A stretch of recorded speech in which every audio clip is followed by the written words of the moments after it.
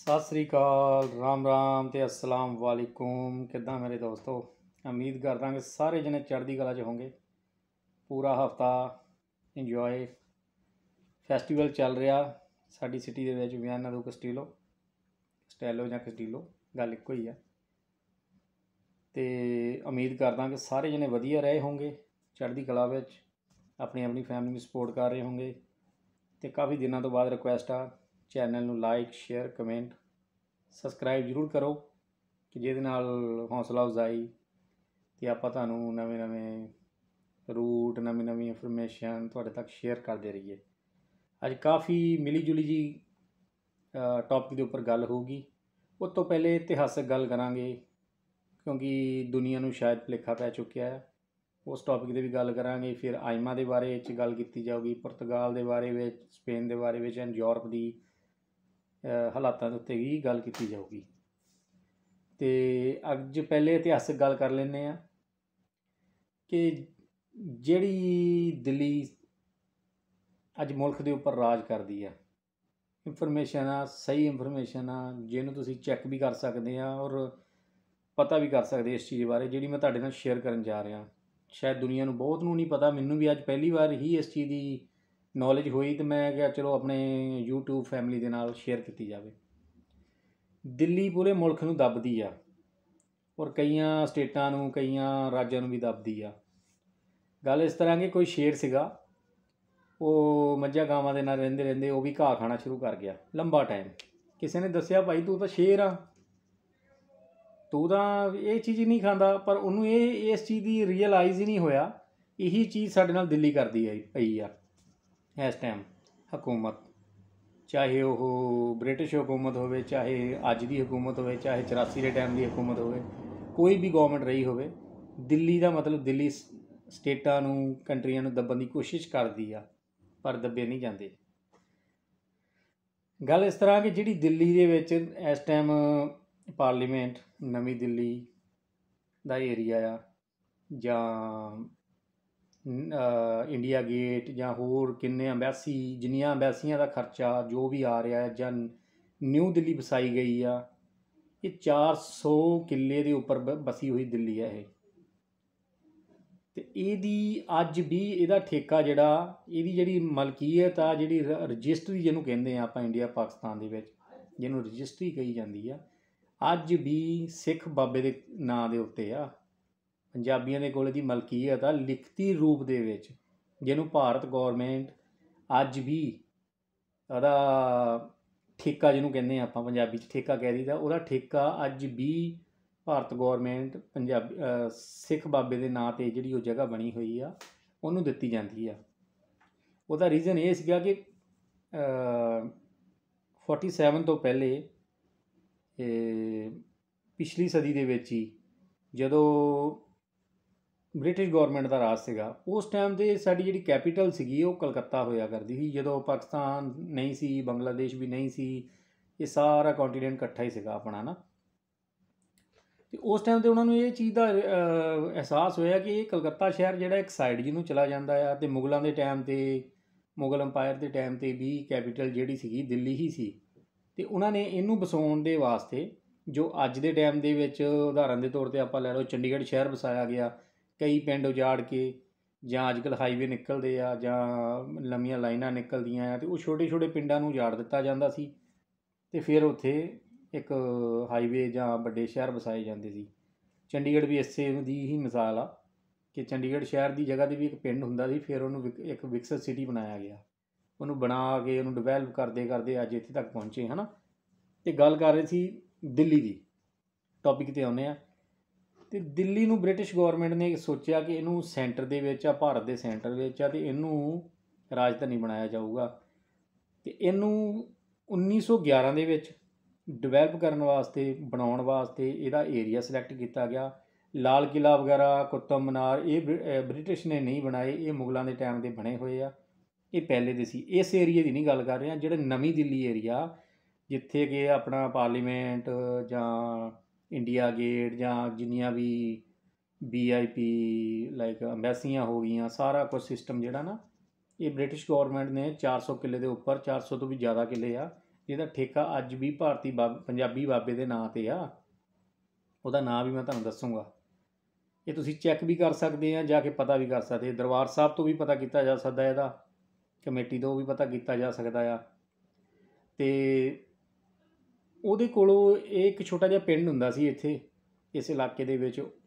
ਉਹ ਪਹਿਲੇ ਉਹਨਾਂ ਨੇ ਹੁਣ ਜਿਵੇਂ ਕਿ ਕੋਈ ਵੀ ਚੀਜ਼ ਰਿਕੁਆਇਰ ਆਪਾਂ ਕਰਨੀ ਆ, ਕੋਈ ਚੀਜ਼ ਦੇ ਉੱਪਰ ਨਵਾਂ ਸ਼ਹਿਰ ਵਸਾਉਣਾ ਜਾਂ ਪਿੰਡ ਵਸਾਉਣਾ, ਉਹਦੇ ਮਾਲਕ ਦੀ ਮਨਜ਼ੂਰੀ ਲੈਣੀ ਪੈਂਦੀ ਆ। ਫਿਰ ਉਹਨਾਂ ਨੇ ਜਦੋਂ ਪੁੱਛ ਪੜਤਾਲ ਕੀਤੀ, ਉਹ ਇੱਕ ਸਿੱਖ ਬਾਬਾ ਸੀ। ਇਹ ਉਹਦੇ ਨਾਂ ਤੇ ਜ਼ਮੀਨ ਸੀਗੀ, ਉਹਦੇ ਇਲਾਕੇ ਦੀ ਸੀਗੀ, ਉੱਥੇ ਇੱਕ ਉਹਦੇ ਨਾਂ ਤੇ ਇੱਕ ਛੋਟਾ ਜਿਹਾ ਪਿੰਡ ਵੀ ਹੋਇਆ ਕਰਦਾ ਸੀ। ਇਹਨਾਂ ਨੇ ਸਾਰਾ ਕੁਝ ਤੈਅ ਕੀਤਾ ਕਿਉਂਕਿ ਉਹਦੀ ਔਲਾਦ ਨਹੀਂ ਸੀ ਅੱਗੇ। ਇਤਿਹਾਸ ਦੇ ਨਾਲ ਵੀ ਜੁੜਿਆ ਹੋਇਆ ਆ ਬਾਬਾ ਸਾਡਾ, ਸਾਰਿਆਂ ਦਾ, ਸਿੱਖਾਂ ਦਾ। ਤੇ ਉਹਦੀ ਔਲਾਦ ਨਹੀਂ ਸੀ ਅੱਗੇ ਤੇ ਇਸ ਲਈ ਬ੍ਰਿਟਿਸ਼ ਗਵਰਨਮੈਂਟ ਨੇ ਬੜੀ ਇਮਾਨਦਾਰੀ ਨਾਲ ਉਹਦੇ ਨਾਂ ਤੇ ਹੀ ਪਟਾ, ਜਿਹਨੂੰ ਕਹਿਦੀ ਦਈਦਾ ਠੇਕਾ ਕਰ ਲਿਆ। ਤੇ ਉਹ ਜ਼ਮੀਨ 99 ਸਾਲੀ ਲਈ ਗਈ ਸੀ, ਜਿਹਦਾ ਕੰਟਰੈਕਟ 2011 ਦੇ ਵਿੱਚ, ਯਾਨੀ 1911 ਤੋਂ ਲੈ ਕੇ 100 ਸਾਲ ਦਾ ਕੰਟਰੈਕਟ ਸੀਗਾ 99 ਦਾ। ਤੇ 2010 ਦੇ ਲਾਸਟ ਵਿੱਚ 11 ਤੱਕ ਮੁੱਕ ਗਿਆ। ਤੇ ਅੱਜ ਵੀ ਠੇਕਾ ਚੱਲਦਾ ਆ।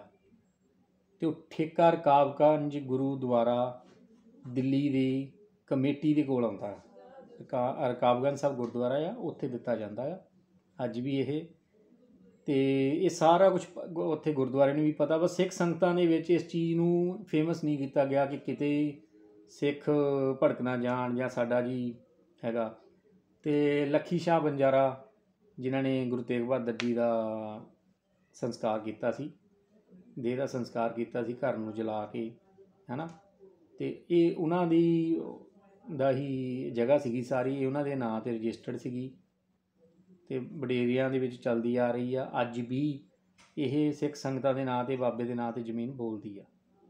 ਇਹ ਸਾਰਾ ਇਲਾਕਾ, ਜਿੰਨਾ ਵੀ ਡਿਵੈਲਪ ਕੀਤਾ ਗਿਆ ਇਲਾਕਾ ਹੈ ਤੇ ਭੁਲੇਖੇ ਚ ਨਾ ਰਹਿ ਜੋ ਦਿੱਲੀ ਦੇ ਤਖਤਾਂ ਨੂੰ ਪੰਜਾਬੀਆਂ ਨੇ ਹਮੇਸ਼ਾ ਹੀ ਠੋਕਰਾਂ ਮਾਰੀਆਂ ਆ। ਠੀਕ ਹੈ ਜੀ? ਤੇ ਜਿਵੇਂ ਕਿ ਬੱਬੂ ਮਾਨ ਸਾਹਿਬ ਦਾ ਵੀ ਗਾਣਾ ਇੱਕ ਕਿ ਠੋਕਰਾਂ ਮਾਰਦੇ ਆ ਨਾ, ਤੇ ਉਹ ਗੱਲ ਸੱਚ ਆ, ਤੇ ਦਿੱਲੀ ਹਮੇਸ਼ਾ ਦਬਦੀ ਆਈ ਆ, ਪਰ ਦਬਦੀ ਨਹੀਂ ਕਦੀ। ਠੀਕ ਹੈ ਜੀ? ਤੇ ਸਮਝ ਜਾਣਾ ਚਾਹੀਦਾ ਸਮੇਂ ਦੇ ਨਾਲ ਨਾਲ, ਕਦੀ ਕਿਸੇ ਬਹਾਨੇ, ਕਦੀ ਕਿਸੇ ਬਹਾਨੇ ਜ਼ਬਰ ਜ਼ੁਲਮ ਚੱਲਦਾ ਰਹਿੰਦਾ ਆ, ਗਲਤ ਆ ਇਹ। ਤੇ ਅਗਲੇ ਪੁਆਇੰਟ ਤੇ ਆਉਨੇ ਆ। ਪੁਰਤਗਾਲ ਦੇ ਬਾਰੇ, ਯੂਰਪ ਜਾ ਜਾਈਏ ਹੁਣ ਇੰਡੀਆ ਨੂੰ ਕੱਢ ਕੇ। ਇੰਡੀਆ ਤੋਂ ਬਾਹਰ ਆਈਏ।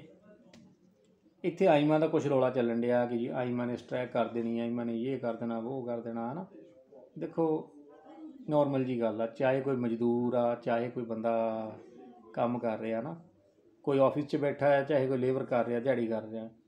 ਰਾਈਟ ਹਰੇਕ ਦਾ, ਚਾਹੇ ਇੱਕ ਘੰਟਾ, ਚਾਹੇ ਇੱਕ ਮਿੰਟ ਵੀ ਵੱਧ ਲੱਗਦਾ, ਉਹਦਾ ਹੱਕ ਆ।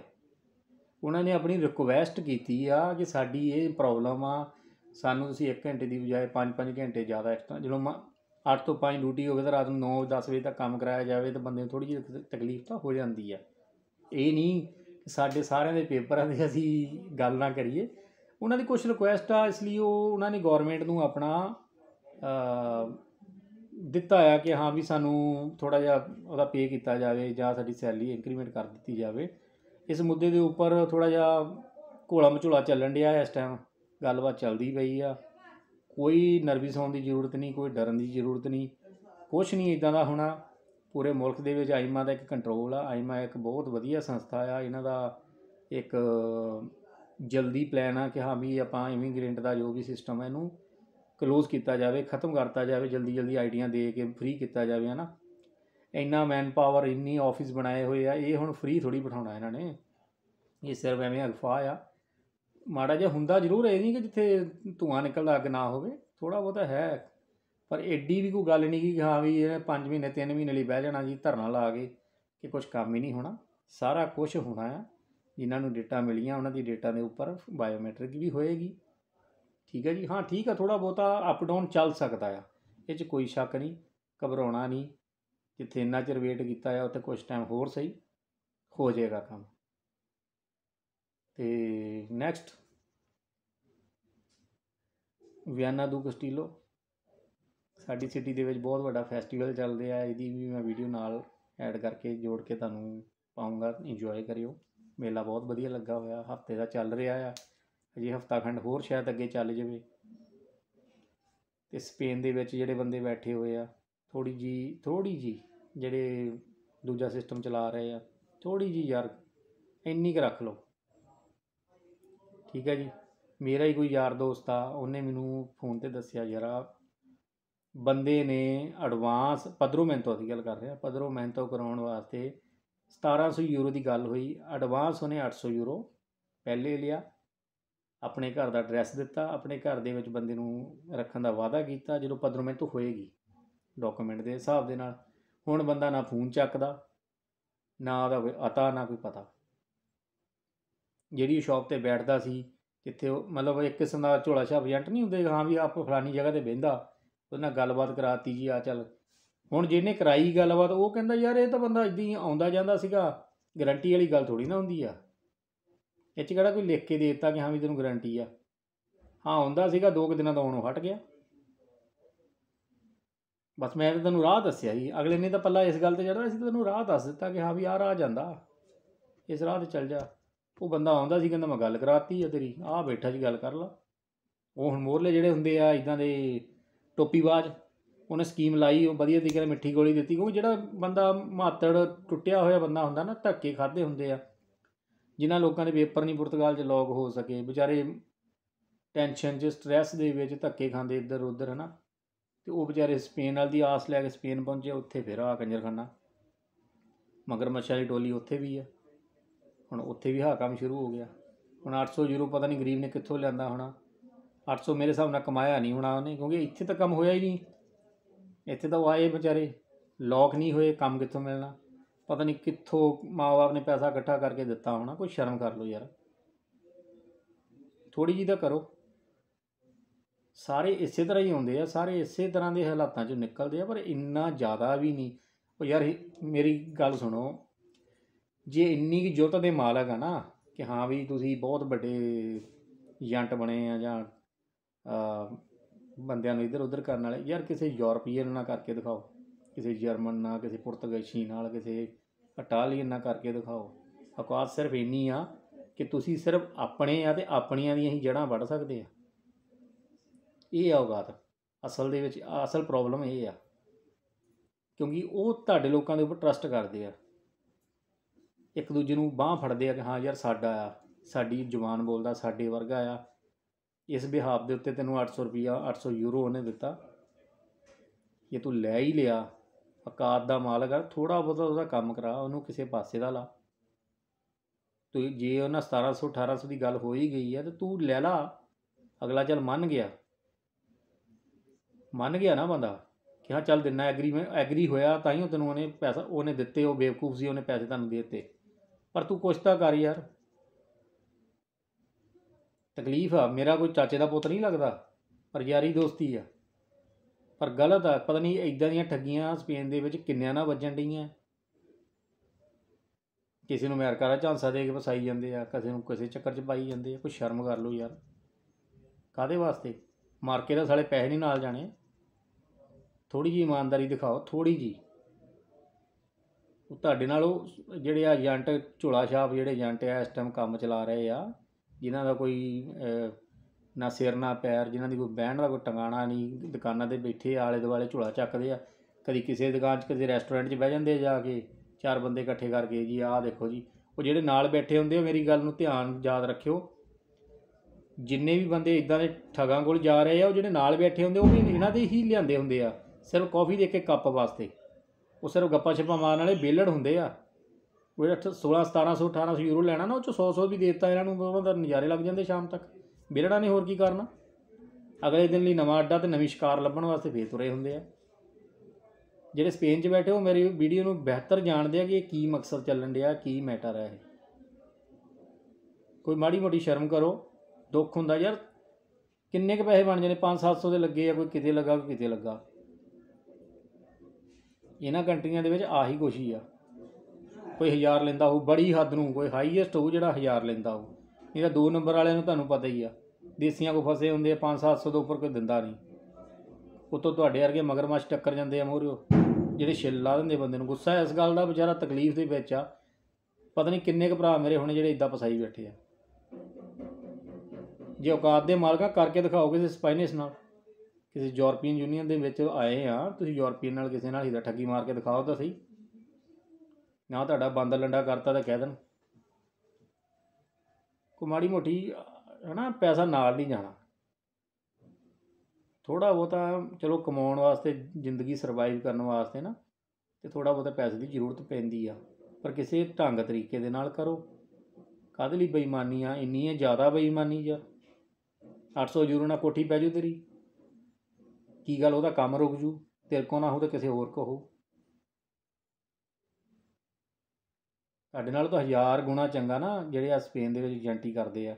ਹਜ਼ਾਰ ਗੁਣਾ ਚੰਗੇ ਜਿਹੜੇ ਉੱਥੇ ਸਰਬੀਆ 'ਚ ਜਾਂ ਪਿੱਛੇ ਜਿਹੜੀ ਬੋਸਨੀਆ ਵਗੈਰਾ ਕੰਟਰੀਆਂ 'ਚ ਜਿਹੜੇ ਵਿਚਾਰੇ ਸ਼ੈਂਜਨ 'ਚੋਂ ਵੀ ਬਾਹਰ ਆ, ਉਹਨਾਂ ਕੰਟਰੀਆਂ ਦੇ ਵਿੱਚ ਜਿਹੜੇ ਬੈਠੇ ਆ ਨਾ ਵਿਚਾਰੇ ਡੌਂਕਰ ਚੌਂਕਰ ਪੁੱਠੇ ਸਿੱਧੇ ਆ ਨਾ, ਅੱਗੇ ਪਿੱਛੇ ਭੇਜਣ ਵਾਲੇ ਬੰਦਿਆਂ ਨੂੰ, ਉਹ ਹਜ਼ਾਰ ਗੁਣਾ ਚੰਗੇ ਸੀ। ਹਜ਼ਾਰ ਗੁਣਾ। ਭਾਵੇਂ ਉਹ ਲੇਡ ਪਛੇੜ ਕਰਦੇ ਸੀ, ਭਾਵੇਂ ਜੋ ਮਰਜ਼ੀ ਵੀ ਸੀ, ਪਰ ਹੱਕ ਹਲਾਲ ਦੀ ਖਾਂਦੇ ਸੀ।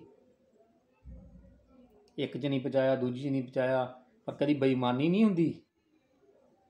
ਠੀਕ ਆ, ਇੱਕ ਵਾਰੀ ਨਹੀਂ ਹੋਊਗਾ, ਦੋ ਵਾਰੀ ਨਹੀਂ ਹੋਊਗਾ, ਟੱਪ ਤਾਂ ਜਾਂਦੇ ਹੀ ਸੀ ਨਾ। ਮੈਂ ਖੁਦ ਪੰਜਵੀਂ, ਛੇਵੀਂ 'ਚ ਆਇਆ ਆ। ਪਰ ਕਿਸੇ ਨੂੰ ਅੱਜ ਤੱਕ ਕਿਸੇ ਵੀ ਪਿਛਲੇ ਬੰਦੇ ਨੂੰ ਮਾੜਾ ਨਹੀਂ ਕਿਹਾ ਮੈਂ। ਉਹਦਾ ਰੀਜ਼ਨ ਇਹੀ ਹੈ ਕਿ ਉਹਨਾਂ ਨੇ ਚਲੋ ਲਾਇਲਟੀ ਤਾਂ ਦਿਖਾਈ, ਇਮਾਨਦਾਰੀ ਤਾਂ ਥੋੜੀ ਬਹੁਤੀ ਦਿਖਾਈ ਪਛਾ ਤਾਂ ਦਿੱਤਾ ਯਾਰ। ਤੁਸੀਂ ਤਾਂ ਇਹੋ ਜਿਹੇ ਬੇਈਮਾਨ ਬੰਦੇ ਆ ਯਾਰ। ਸਿੱਧੀ ਗੱਲ ਆ, ਪੈਸੇ ਲਈ ਜਾਂਦੇ ਅੰਦਰੋਂ ਅੰਦਰ। 800 ਤੇਰੇ ਕੋ ਫੜਿਆ 500 ਕਿਸੇ ਕੋ ਫਸਿਆ 400 ਕਿਸੇ ਕੋ ਫਸਿਆ। ਤੁਸੀਂ ਆਪਣੀਆਂ ਕੋਠੀਆਂ ਪਾ ਲਓਗੇ ਕੁਝ ਨਹੀਂ ਬਣਨਾ। ਇੱਦਾਂ ਹੀ ਰਹਿ ਜਾਣਾ। ਦਿਮਾਗ ਖਰਾਬ ਹੋ ਗਿਆ ਵਿਚਾਰੇ ਦੀ ਗੱਲ ਸੁਣ ਕੇ ਮੇਰੀ, ਤਾਂ ਕਰਕੇ ਮੈਨੂੰ ਗੁੱਸਾ ਆ ਗਿਆ ਇਸ ਚੀਜ਼ ਦੇ ਉੱਪਰ। ਤੇ ਨੈਕਸਟ ਇਟਾਲੀਆ ਦੇ ਵਰਕ ਪਰਮਿਟ ਵੀ ਚੱਲਦੇ ਆ ਮੇਰੇ ਵੀਰੋ। ਠੀਕ ਹੈ ਜੀ। ਬਾਕੀ ਹੁਣ ਜਿਵੇਂ ਕਿ ਇਟਾਲੀਆ ਦੇ ਪੇਪਰ ਉੱਪਰ ਗਾਂ ਫੇਰ ਭਰ ਹੋਣੇ ਆ, ਉਹਨੂੰ ਭਰਾਓ, ਉਹ ਵੀ ਵਧੀਆ ਆ। ਤੇ ਜਿਹੜੇ ਰਸ਼ੀਆ ਵਾਲਾ ਸੀਨ ਚੱਲਦਾ ਪਿਆ ਸੀ ਨਾ, ਹੁਣ ਕਿਉਂਕਿ ਫੇਰ ਦੁਬਾਰਾ ਠੰਡ ਸ਼ੁਰੂ ਹੋ ਜਾਣੀ ਆ, ਗਰਮੀਆਂ 'ਚ ਥੋੜਾ ਜਿਹਾ ਚੱਲ ਗਿਆ ਜਿਹੜਾ ਪ੍ਰੋਗਰਾਮ ਚੱਲਣਾ ਸੀ। ਰਸ਼ੀਆ ਵਾਲਾ ਸੀਨ ਹੁਣ ਨਾ ਹੀ ਕਰਿਓ, ਜ਼ਿਆਦਾ ਵਧੀਆ, ਕਿਉਂਕਿ ਅੱਗੇ ਠੰਡ ਵੱਧ ਜਾਣੀ ਆ, ਜਿਹੜਾ ਤਾਂ ਇੱਕ ਅੱਧੇ ਮਹੀਨੇ ਦੇ ਵਿੱਚ ਲੰਘਿਆ ਆ ਲੰਘਿਆ ਆ। ਸਤੰਬਰ ਦੇ ਲਾਸਟ ਤੱਕ। ਕਿਉਂਕਿ ਫੇਰ ਤਾਂ ਹਾਲਾਤ ਬਹੁਤ ਜ਼ਿਆਦਾ ਖਰਾਬ ਹੋ ਜਾਣੇ, ਫੇਰ ਨਹੀਂ ਫਾਇਦਾ। ਕੋਈ ਵੀ ਪੰਗਾ ਨਾ ਲਵੇ। ਪੁਰਤਗਾਲ ਦਾ ਜੌਬ ਸਰਚ ਵੀਜ਼ਾ ਵੀ ਚੱਲਣ ਡਿਆ ਆ ਉੱਤੇ ਆਓ ਡਾਇਰੈਕਟ ਆਓ।